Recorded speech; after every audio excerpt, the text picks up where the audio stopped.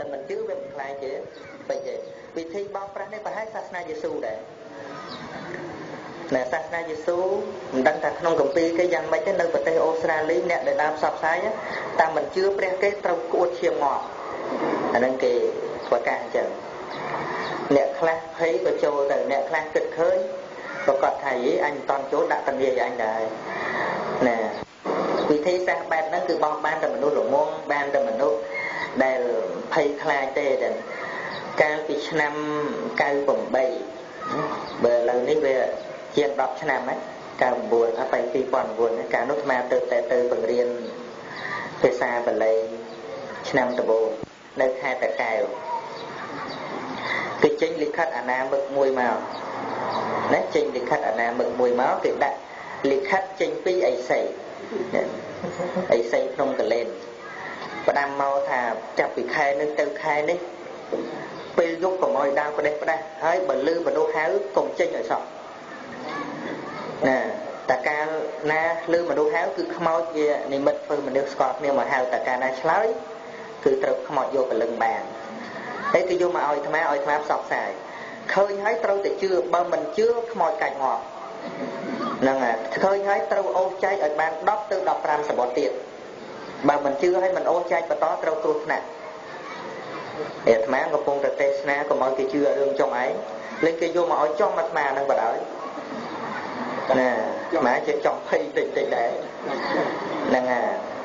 ស្រាប់អីគាត់ជួនពេលហ្នឹងកាលដែលអាត្មាទៅបង្រៀនហ្នឹងមានគ្រូពីរអង្គគ្រូមួយអង្គទៀតទៅបរៀនជាមួយអាត្មាដែរយប់ហ្នឹងលោកអត់ស្រួលខ្លួនតែលោកអត់ស្រួលខ្លួនយកលោកមកគោះទ្វារអាត្មាពីពីខិតឯងទៅទៅទទួលពីថ្ងៃលេខកដាយប់មានអ្នកគោះទ្វារ ណាគិតតិចខ្មោចមែនទៅហើយវាខែភ្លឺដែរអត់ហ៊ានឆ្លើយអត់ហ៊ានឆ្លើយមកអើតមើលជើងគេថាខ្មោចមើលជើងអត់ឃើញជឿតិចតិចដែរណែដល់ល្មើជើងឃើញហ៎មិនមែនខ្មោចទេលោកគ្រូនឹងមែនដែរហ្នឹងហើយបើកទ្វារទៅគឺលោកមករកកខ្យល់ហ្នឹងហើយបើមិនបើកកូនណាណែ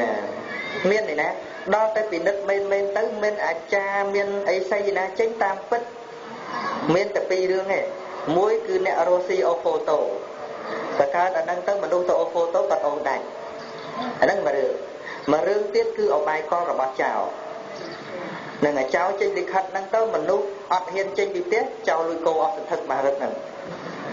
មកហឹកដែលចេញกระดาษហ្នឹងបាត់គោអស់ច្រើនហ្នឹងដល់ពោះវាមនុស្សអត់ហ៊ានចេញគេដាក់គោអញ្ចឹងគេល្បិចគេគេគេលួចហ្នឹងឲ្យម្នាក់មកគោះទ្វារគោះហៅគោះហៅ ហៅអត់ចេញម្នាក់ទៀតគេដាក់គោទៅតាមពិតល្បិចបោះចោលទៅហ្នឹងហើយកលាធ្វើថាជាអីសីចេញមកពីភ្នំកលែនអាហ្នឹងហើយស្មាក្រំប្រាប់មុនប្រយ័ត្នចោលលុយកោអស់ទៀតអាហ្នឹងមានហើយប្រហែលជាជាង10ឆ្នាំមុនមានអញ្ចឹងគឺរឿងរបស់ចៅដែលចៅកលាខ្លួនបោកយាយយាយយល់ទេលោកយាយហ៎ យល់ហើយឥឡូវប្រាប់រឿងហ្នឹងចេញរឿងអីថ្មីទៀតជឿទៀតហ្នឹងហើយហ្នឹងហើយរឿងអ្នកបោកហ្នឹងគេចេញមករឿងច្រើនណាស់អញ្ចឹងញាតិញោមមិនចាំបាច់ស្វែងយល់រឿងអ្នកបោកថាបោករឿងអីខ្លះទេសិក្សាអំពីកម្មផលឲ្យតែច្បាស់ចេញមករឿងអីក៏យើងដឹងច្បាស់ដែរទៅណែឲ្យតែច្បាស់រស់រឿងកម្មផលទៅញាតិញោមលែងទៅភ្ញាប់ឲ្យរឿងហ្នឹងហើយទៅអញ្ចឹងបាទថាផែនទី ឬក៏គំរូផ្លូវសម្រាប់ដើរព្រះអង្គទ្រង់ប្រោសសម្ដែងហើយឲ្យតែច្បាស់លាស់ទៅនៅក្នុងរឿងកម្មផលរឿងលោកគ្រូណាបោកក៏លែងបានយើងមើលប៉ាហ៊ីដែលទៅលេងដែលឃើញប៉ាហ៊ីជប់ដាច់គោចេញក្របស្គរដែរហ្នឹងហើយដែលប៉ុន្តែបើគេប្រកាសថាប៉ាហ៊ីស៊ីលុយផងមិនស្អុយមិនយករុយណាផងមិនស្អុយមិនយកកាក់បើគេប្រកាសទ្រូងទូម៉ាំងចេញប៉ាហ៊ីយើងថាអើយប៉ាហ៊ីកុហក ដឹងគេកុហកដែរដល់ទៅតាប៉ាហ៊ីក៏រស់ស៊ីឬប៉ាហ៊ីលែងបានគាត់ទៅពាក់អាដេញសម្លៀកបំពាក់សឲ្យពាក់អង្កាំអង្គុយលើដុំថ្មជប់អាដេញស្លឹកឈើឲ្យទៅជាលុយជឿបងទេកុហកថាអីស្អីមកពីភ្នំកលែនជឿហ្មងកាលគាត់ថាគាត់ជាប៉ាហ៊ីអត់ជឿដល់តែគាត់ទៅធ្វើលោកគ្រូបកែជប់ទៅចេញនឹងចេញអាចគោចេញជាលុយចេញជាស្អីចេញជាពេជ្រអីចឹងទៅជឿហ្មងដែរ អាហ្នឹងមកពីអីមកពីអីមកពីអីហ៎មិនអង្គុយធ្វើមុខស្មើទាំងអស់គ្នាអឺមកពីល្ងងហ៎អញ្ចឹងណាអឺនឹងតែណាអាត្មាចេះតែអាណិតញាតិញោមហ្នឹងណាបានចេះតែនិយាយប្រាប់ហ្នឹងតាមពិតណាអាត្មានិយាយទៅក៏មានអ្នកសម្បូរអ្នកខឹងដែរព្រោះអាត្មានិយាយទៅគេរៀលគេរស់ស៊ីលែងសូវបានណា អ្នកគេរស់ស៊ីផ្លូវហ្នឹងវារស់ស៊ីមិនសូវបានគេចេះតែខឹងអាត្មាទៅហើយខំទៅបាបគេតើអ្នកបាបគុណយ៉ាងអឺចឹង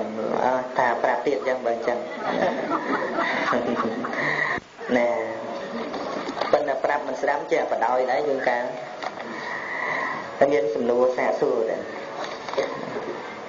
ខ្ញុំកណាសូមមកស្ការចំពោះប្រកណត្រ័យទាំង3ដោយសេចក្តីគោរពហើយនឹងក្រាបថ្វាយបង្គំចំពោះ លោកចាស់គ្រូដោយសេចក្តីគោរពខ្ញុំកណាឈ្មោះម៉ោងទុយនៅភូមិស្រងែឃុំត្បែងស្រុកកំពង់ស្វាយខេត្តកំពង់ធំខ្ញុំប្រកាសរណាមានចម្ងល់ចង់សួរលោកម្ចាស់គ្រូថាសំណួរទី1សួរថាតើប្រហោះអ្នកនៅគ្រប់គ្រងផ្ទះត្រូវប្រកបដោយធម៌អ្វីខ្លះមានប្រមាណយ៉ាងទៅឈ្មោះថារស់នៅប្រកបដោយប្រសើរ គរិយាវសធម៌មាន4ប្រការណាគឺខន្តីណាចាកៈតមៈសច្ចៈណាគឺថាត្រូវមានសេចក្តីអត់ធន់រស់រស់នៅជាមួយប្តីប្រពន្ធអីហ្នឹងបើខ្វះការអត់ធ្មត់ទេឆ្លោះគ្នាបែកចាំងបែកឆ្នាំងអស់ហើយណាហើយមានចាកៈគឺការធ្វើទានលះបង់ធ្វើទាន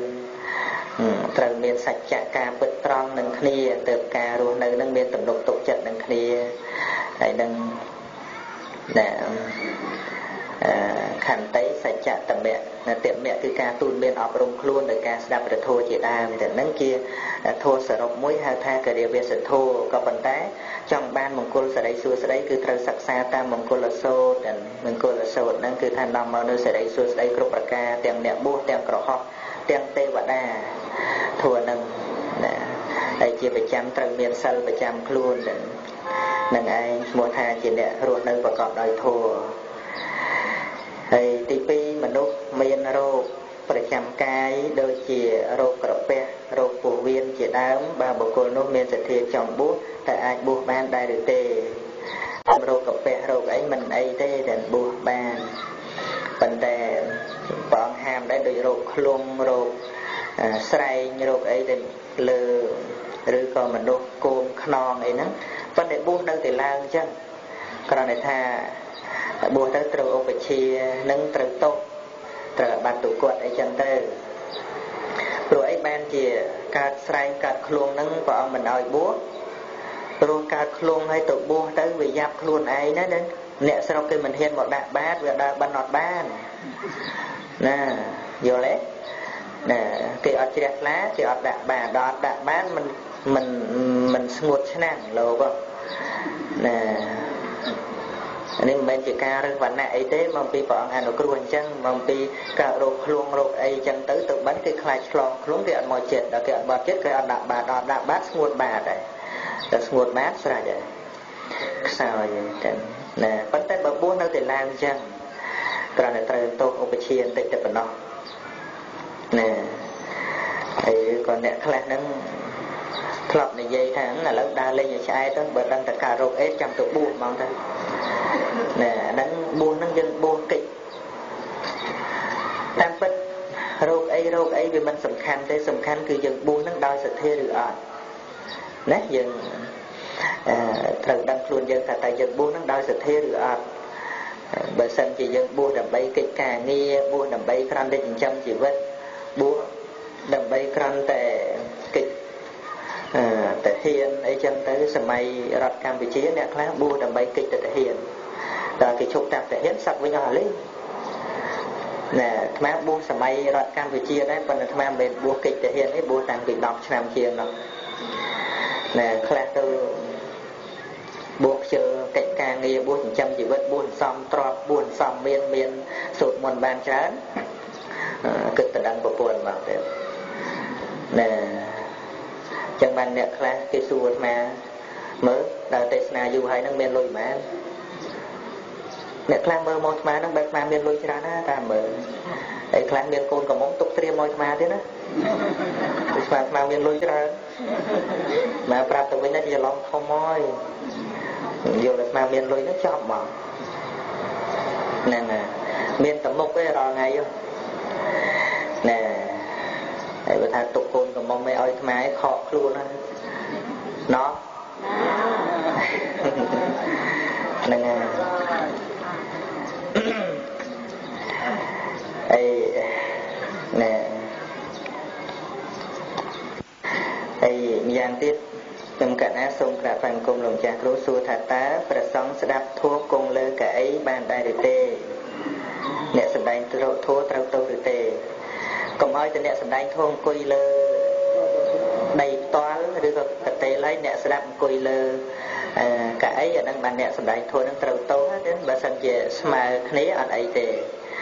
ឬក៏អ្នកស្ដាប់ធម៌ហ្នឹងអង្គុយទៀបជាងកៅអីដូចគ្នាកុំអីឬក៏អីស្មើគ្នាក៏មិនអីដែរមិនចំពោះតែប្រសំទេសំបីញាតញោមអាចអង្គុយលើកៅអីស្ដាប់ធម៌បានទៅអត់តោះខុសអីទេកុំឲ្យតែកៅអីញាតញោមខ្ពស់ជាងលោក អ្នកសំដែងណាបើត្រឹមតែស្មើគ្នាមិនតោះខុសអីទេណានឹងយើងកន្លែងហ្នឹងយើងអាចខាតណាខាតញាតិញោមខ្លះគាត់អត់ហ៊ានទៅស្ដាប់ធัวមកបង្រៀនធัวអីគាត់ថាចង់អូយចង់ប៉ុណ្ឯងអង្គុយវាអត់កើតគាត់ចង់ណាប៉ុន្តែអង្គុយអត់កើតគាត់បានតែសណ្ដោកបានតែអង្គុយតែអីគាត់ហ៊ានទៅព្រះធម៌អនុញ្ញាតឲ្យអ្នកមានអាពាតញាតិញោមមានជំងឺ សំបីធម្មកថាអង្គុយផ្ទាល់នឹងដីឬក៏ឈរក៏ដោយញាតិញោមមានជំងឺដេកលើក្រេលោកអាចសម្ដែងធម៌ឲ្យស្ដាប់បានអត់មានទោសខុសអីទេយើងមើលដូចជាពោតិកតទេសធេរៈលោកមានអាពាតឡើងមិនរួចព្រះសម្មាសម្ពុទ្ធព្រះអង្គទៅឈរឈរនឹងក្បាលតំណេកលោកហើយពោតិកតទេសធេរៈហ្នឹងសឹងសឹងលើក្រេហើយព្រះអង្គឈរដីទេ ព្រះអង្គសម្ដែងធัวអនិច្ចាវអចិរੰវតយ៉ាងកាយោបតវងស្តិសិសតិឆធោគឺថានឹងព្រះអង្គសម្ដែងប្រោសពោតកតទេសធេរៈលោកបានសម្រេចព្រះរហន្តបរិនិព្វានទៅហើយព្រះអង្គអត់មានកន្លែងគង់ទេនឹងចំពោះអ្នកឈឺអត់ប្រកាន់ទេដែលប្រកាន់ពោះទៀបប្រកាន់ឈោអង្គុយនេះគឺប្រកាន់ចំពោះអ្នកអត់ឈឺទេបើឈឺអត់អីទេហើយតែមានជំងឺមែនណា ឈឺខ្នងឈឺចកេះខ្លាំងអីចឹងយើងសុំឱកាសបានញាតិញោមពុទ្ធបរិស័ទអង្គុយស្ដាប់ធម៌បាត់ជើងយូរឈឺជើងអាចសណ្ដោកបានឬក៏ពេនភ្នែនទល់មុខអាក៏បានដែរអត់តខុសអីទេប៉ុន្តែគ្រាន់តែពេលភ្នែនទល់មុខលោកវាមិនសមមិនសមនឹងយើងគិតតាមប្រពៃណីខ្មែរយើងទេប៉ុន្តែរឿងវត្ថុអបកម្មទេសំខាន់គឺតាំងចិត្តស្ដាប់ឲ្យយល់ ការដែលស្ដាប់ធម៌ដោយគោរពនឹងមិនប្រកាន់អរិយាប័ត្រដេកដើរឈរអង្គុយទេគឺថាសំខាន់គឺឲ្យយល់តាំងចិត្តស្ដាប់ឲ្យយល់ឈ្មោះថាស្ដាប់ដោយគោរព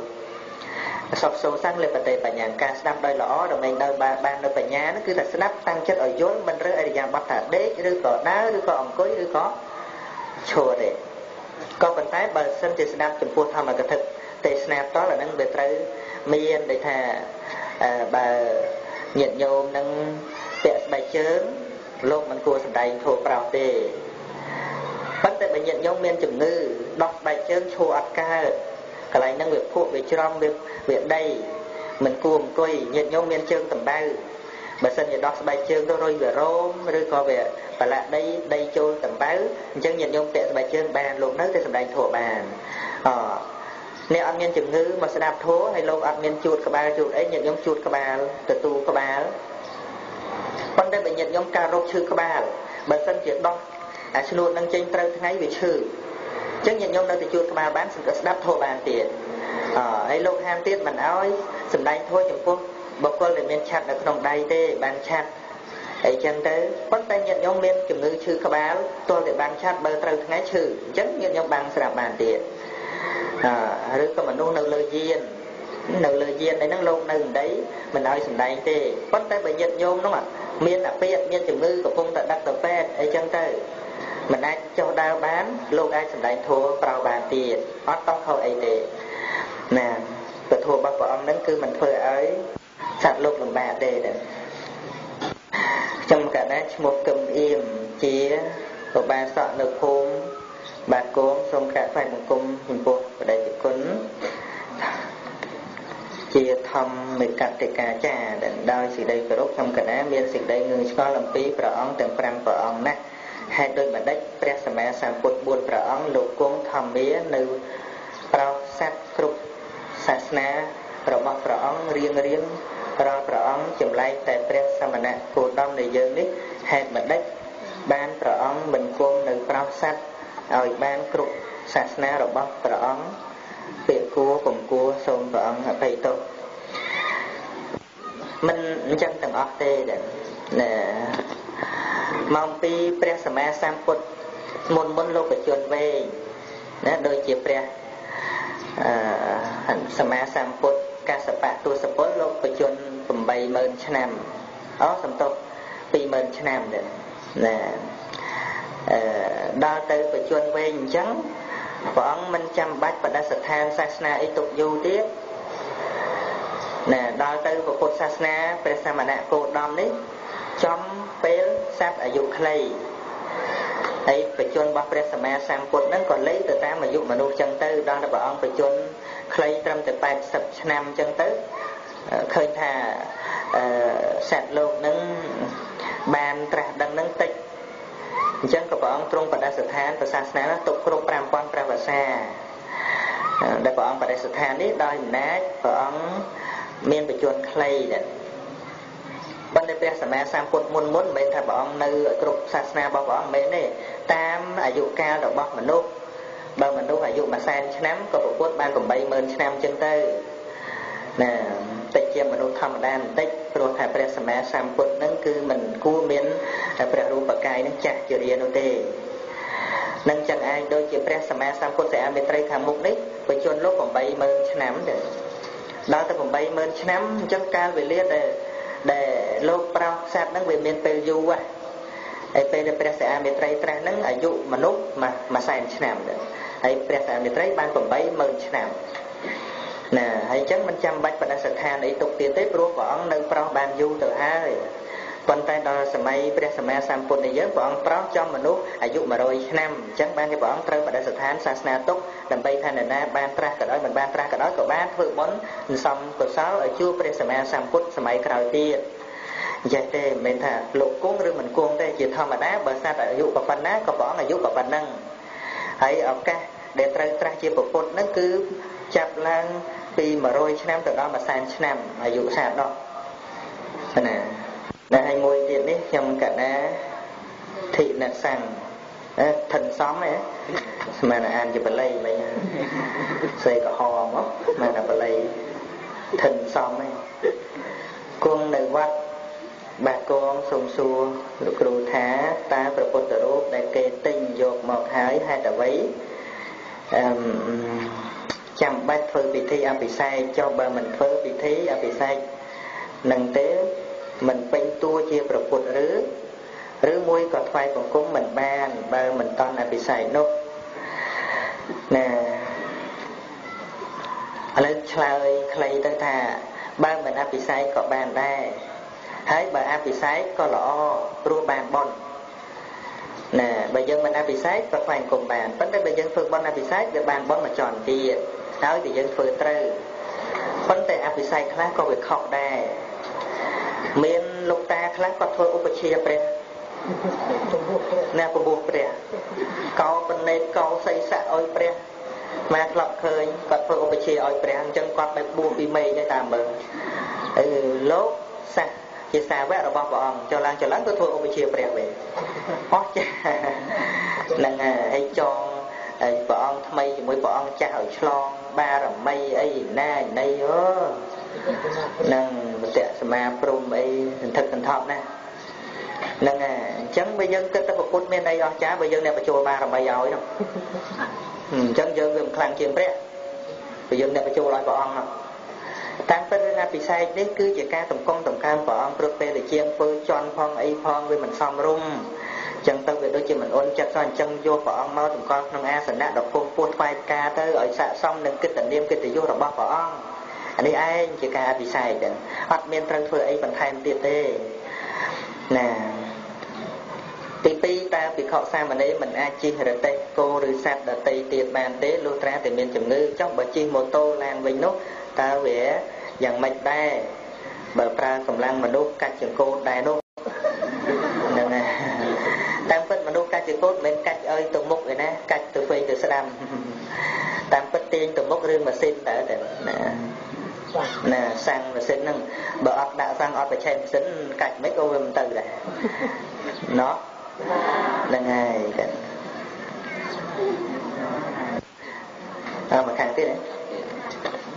មានកន្លែងខ្លះហ្នឹងក៏ប្រកាន់ជ្រុលដល់កន្លែងហ្នឹងដែរណាសប្ថ្ងៃហ្នឹងកន្លែងខ្លះគេអត់ជិះឡានទេ ណាអើបើសិនមិនជិះក៏ល្អដែរដើរហាត់សរសៃទៅវាមិនសូវកើតរោគស្វិតណាចេញញើសទៅមេដាបេដាមានគុណធ្ងន់ប្រមាណមិនបានដូចគ្នាចុះហេតុអ្វីបានជាថាសម្រាប់មេដាមានទោសធ្ងន់ជាង សម្រាប់បេដាព្រោះថាគាត់ទាំងពីរមានគុណស្មើគ្នាតើព្រោះហេតុអ្វីបានជាអញ្ចឹងទៅវិញមិនអញ្ចឹងទេតែគេសេអ៊ីចឹងណាអ៊ីចឹងប៉ុន្តែយើងនិយាយអញ្ចឹងណាអឺ រឿងមេដាបេដានេះនៅក្នុងគុណនឹងឯងក៏គ្មានចិញ្ចីងសម្រាប់ថ្លឹងទេណាចាស់ចាស់យើងនិយាយថាឪពុកគុណ21ម៉ែគុណ22អោះ12ណាយកធាតុទឹកធាតុដីមកធ្វើគុណណាតាមពិតមិនមែនគុណអញ្ចឹងទេធាតុទឹកធាតុដីមិនមែនជាគុណទេ គុណគឺសំដៅទៅដល់ព្រមវិហារធម៌ទឹកចិត្តនោះសន្តានចិត្តល្អនោះដែលស្រោចស្រពមកលើកូនប្រុសស្រីហ្នឹងអាហ្នឹងឈ្មោះថាគុណគុណប្រែថាសេចក្តីល្អតែក្នុងទីនេះក៏មិនមានកម្ពីណាសម្ដែងថាលោកមានគុណស្មើគ្នានោះដែរក៏ប៉ុន្តែបើយោងទៅតាមគរុកម្មវិញណាគរុកម្មដូចជាអនន្តរិយកម្ម គឺសម្រាប់មេដាបៃតាដែលអត់មានសិលដូចគ្នាសម្រាប់មេដាគឺធ្លាក់អនន្តរិយកម្មឯទោសសម្រាប់បៃតានោះមិនឲ្យផលទេបើសិនជាមេដាបៃតាទាំងពីរមានសិលដូចគ្នាសម្រាប់ទាំងពីរអ្នកកម្មដែលសម្រាប់មេដានោះជាអ្នកឲ្យបដិសន្ធិក្នុងនរកអញ្ចឹងក៏ឈ្មោះថាទោសដែលសម្រាប់មេដានឹងធ្ងន់ជាងបើទោសធ្ងន់ជាងគុណម្ដាយក៏ធ្ងន់ធ្ងន់ជាងដែរ ប៉ុន្តែបើសិនជាម្ដាយអត់មានសិលឪពុកមានសិលសម្រាប់ទាំងពីរសម្រាប់ឪពុកធ្ងន់ជាងព្រោះឪពុកជាអ្នកត្រួតត្រងនៅគុណធម៌គឺសិលណាហើយបើសិនជាម្ដាយមានសិលឪពុកអត់សិលអានឹងមិននិយាយទេហ្នឹងគឺថាម្ដាយនេះធ្ងន់ជាងហើយតែម្ដាយធ្ងន់ជាងយើងអាចវាស់បានអ្នកណាអ្នកពោះពោះទេម្ដាយ ឪពុកនឹងអត់មានជាអ្នកពោះពោះទេបើគេឲ្យពោះពោះម្ដងទៅបើព្រមបើសិនតែមានអាទិទេពណាថាឥឡូវយើងយកកូនពីរខ្ញុំពោះពោះមួយពុកវាឯងពោះពោះមួយគាត់ព្រមទេមែនទេអត់ព្រមទេលោកពុកហ្នឹងនោះហ្នឹងតាតាព្រមនេះព្រមពោះពោះទេ អត់ទេហ្នឹងគាត់ថាអញកើតតាមណាហ្នឹងឥឡូវគេថាមិនឲ្យកើតតាមណាគេវះដូចតែគេឯងចុងនៅតែអត់ព្រមចុះឯងហ្នឹងហើយពោពោះហើយបង្កើតហើយមានទៅស្រួលអីទេពាក្យខ្មែរយើងប្រែថាឆ្លងទន្លេទន្លេហ្នឹងវាមានរលកបក់បោកជួនរួចជួនមិនរួចមែនទេមែនទេញោមស្រីស្រីយោ ពិបាកទេពិបាកហើយប៉ុន្តែអត់រៀងហ្នឹងហើយបកើតមកហើយអ្នកណាអ្នកបំបៅកូនម៉ែទៅផ្សារទៅផ្សារគេចាំមើលផ្លូវនរណាម្នាក់គេថាអូចាំមើលផ្លូវមើលតែមើលមើលម៉ែមកពីផ្សារគេមិនដែលថាចាំមើលផ្លូវមើលតែមើលឪមកពីផ្សារឪមកពីផ្សារមិនសូវមានអីនៅដៃទេ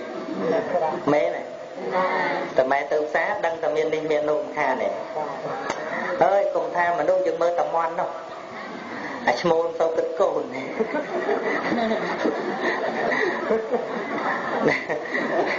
នាងមេវិញនាងមេតែបានចំណៃប្រុកប្រុកប្រុកប្រុកប្រុកប្រុកហៅកូនមក បើឈ្មោលវិញតែបានចំណៃក្រុកក្រុកហៅមេមែនមែនប៉ុន្តែមនុស្សយើងវាមិនមែនដូចមន់ទេឲ្យខ្លះក៏គិតកូនខ្លាំងដែរមែនទេហ្នឹងហើយក្រំជាងមន់ទេហើយបើថាសត្វតិរិឆានវិញហើយអើយងល់នឹងបើគោវិញមិនដឹងរស់ឪឯណារស់ឪឃើញ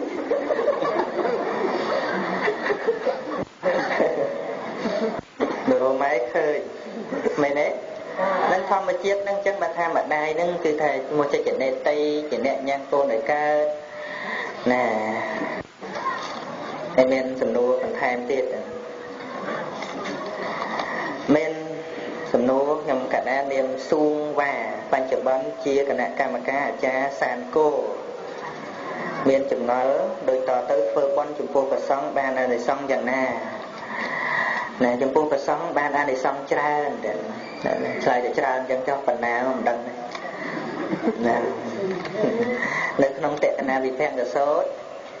ព្រះអង្គសម្ដែងថាធ្វើបន់ចំពោះសត្វតិរិឆានបានបន់100អត្តភាពធ្វើចំពោះមនុស្សអត់សិលបាន1000អត្តភាពធ្វើចំពោះមនុស្សមានសិលបាន100,000អត្តភាព ហើយបើធ្វើចំពោះព្រះសោតាបានអត់ធ្វើចំពោះពុទ្ធជនដែរ